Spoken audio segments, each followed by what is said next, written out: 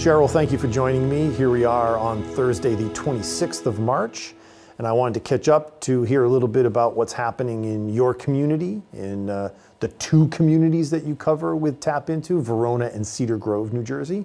Well, listen, first of all, how are you doing? How are your family members doing? And, and what do you see outside your window in your neighborhood?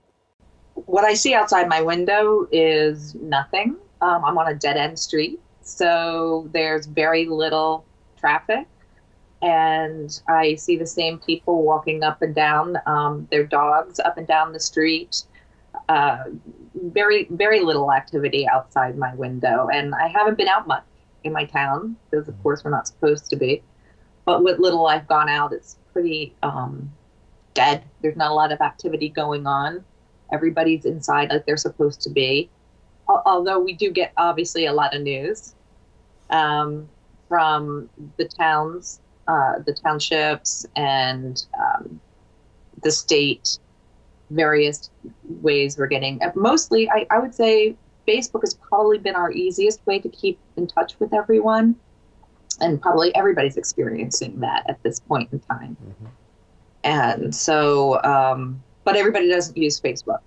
So I think that's the reason why TAPinto can really fill fill a void. And we've been having excellent uh, traffic since this whole thing. People are really looking to us for getting their only news source. Let me ask a little bit more broadly about Verona and Cedar Grove. Tell me a little bit about the two towns. How are things going? Uh, I think at this point we've had about 13 people tested positive for coronavirus. Uh, we do have one grocery store in our town I have been to that grocery store. I have to say, in the beginning, I was uh, a little more blasé about, um, as a microbiologist and as a scientist. Uh, well, maybe because I'm a scientist, you know, you, you practice better hygiene maybe than most in general. Let me interrupt uh, you for a second, um, because along with uh, owning and managing a a tap franchise, you do have this other career. Would you mind telling me about that?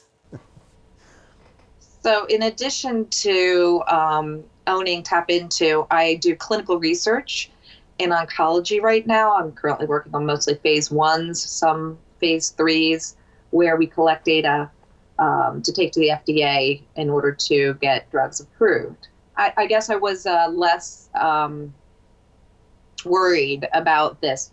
But obviously, it's very funny being isolated in my house for this past week.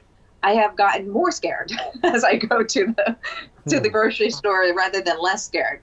I guess as it as it becomes apparent that it's in my town and that my chances of going out and having someone else who's contacted somebody else in my town being in that grocery store up a little bit higher than um, I, I guess I got a little more scared than I was uh, in the beginning. So we've been pretty much self isolating and staying at home, other than maybe picking up some um, takeout food. I have gone into the grocery store, but I spend like no time in there. Just go in, get as little as I can, and move on. It's been interesting because I wasn't so scared, and I've gotten more scared, hmm. which is weird. Let me dovetail on that concern that you you're expressing. You know, do you think your community, your two communities that you cover, are they feeling that anxiety as well? Are they fear? Is there a sense of fear out there? Do you think?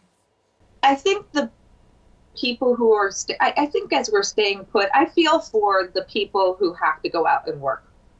Our police officers, you know, the people. Uh, my my friend who's a nurse contacted me on Facebook, and you know, she's been wearing the same mask for a week now she only works two days in the hospital, but still, she shouldn't be having to wear the same mask for a week, putting her life at risk. And she's like, you know, I know I'm a I'm a nurse, but um, and that's my job, but still, that that gave me pause. That our people who are out there on the front line really don't have the right um, protective gear to help them and save them. So they're out there in danger. I feel for them. And I, I, I guess at this point now, I'm thinking that I'm doing my part. We're doing our part by just staying put. The less danger I'm putting anybody else in. So I, I feel like at least that's that's me giving that is a sacrifice. That is us all sacrificing in order to make it not spread any further. And uh, I was thinking about this the other day. At this is kind of off, but um, I was thinking last night that New York went through 9/11, and I was pregnant with my second son during 9/11. Um, in fact, I had him on the 26th of September. I was very pregnant, and uh, I remember being. I mean, that was so intense. And I feel a little bit like it, the same thing, honestly. Um, I, I kind of, since I was so pregnant, was stuck inside my house too with 9 11. There was so much news going on. But being so close to New York and where it happened, where the majority of it happened, and then also where the, this seems to be the epicenter now for the coronavirus, just sort of brought back that to me, which wasn't a happy memory either. So um, I, I, it's it's been a little bit of an adjustment. Um, how have you experienced the crisis through the TAP platform? You know, there's obviously more viewership and there's a connectivity to the community. Tell me a little bit about how you're seeing that. Well, it's a struggle to try to keep up with um, without going out, really, without going out of the house too much, mm. keeping up with um, the getting the vital news to the community. So it's been a little bit of a struggle in that fashion and trying to help the businesses, the local businesses, um, as much as possible, trying to let people know if they do want to get takeout where they can go to get takeout and who's open and who's not. Um, it's just been it's it's been a little challenging, but I think we're doing the best that we can by uh, keeping in touch with the people that we need to t- keep in touch with. The town's been fantastic. The mayor's been fantastic. Um, you know, people have been very good about reaching out and helping us to connect everyone. I shudder to think how we would all be if we didn't have TAPinto as a source right now, um, because there's print would help us not at all.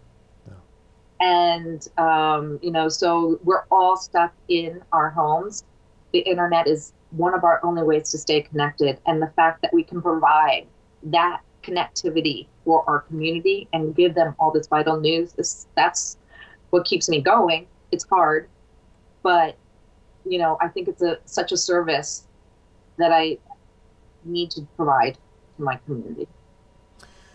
Well, I appreciate you taking time to join me to talk about this. Would you like to use a little crystal ball and, and just tell me where you think things are going in the next couple weeks, or maybe even how we're going to come out of this as a as a tap manager and owner? Where do you see all of this going? Unfortunately, I was hoping that it was going to end a little faster than I, I, I really do believe that this will take us some time to work out of. I actually foresee that we'll be quarantined for quite a while. Um, I'm hating it, really hating it. But how long till we get out of it, and what what do I see us getting out of it? I think it's going to make us a little stronger, hopefully, as a community, because uh, I do see us working together. Businesses are trying to work together, strengthen each other up, and um, shore each other up. Everybody's not going to survive. That's unfortunate. Um, but you know, this is going to be a hard hit. So we'll be having to build up together after. Well, thanks again for joining me. Please stay safe and healthy and quarantined. Don't go too stir crazy. And uh, we'll catch up again like this very soon.